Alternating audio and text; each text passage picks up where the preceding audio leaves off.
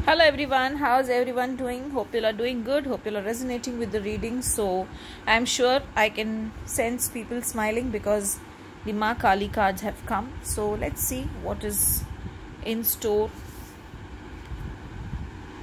Matangi my all-time favorite devi of the dashamahavidya who is very powerful very generous in making people have Vak Siddhi and be happy in their lives. So let's see one more card also I want to pick so that you know we will know what is the overall guidance of Ma Kali.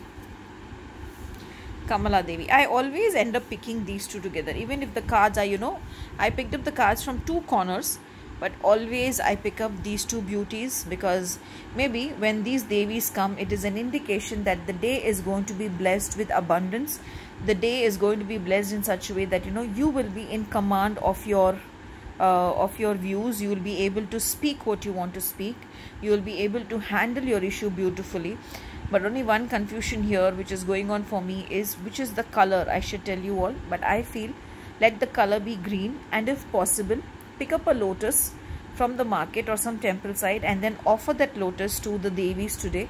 And also if possible make some prasad in the evening and offer that on the lotus. Like you know if this is the lotus keep little bit of prasad on it and offer it to the devi. And after that what you can do is you can leave it in the open terrace for the crows or you can even feed it to a stray animal and the devi will be very very happy when you do that. But overall when you see the reading connect within yourself and do what you feel like doing and work towards what you actually want to do and don't worry about anything else today because I feel that today whatever you do whether you start a new work or whether you work on your existing business or whether you are going to uh, plan something new everything is going to be successful.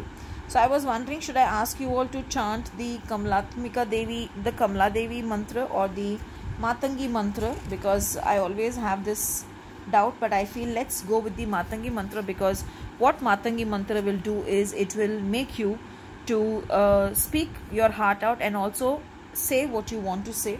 So this the uh, the mantra will be chanted 21 times. You will say om preem aim shreem shri matangeshwari swaha. I repeat om preem aim shreem shri Matangeshwari Swaha. So you can say that 21 times. As I said today also do the offerings of uh, a prasad on the lotus and uh, leave it for a stray animal and the rest of the prasad you all can have with your family members also. Have a beautiful and a blessed day ahead.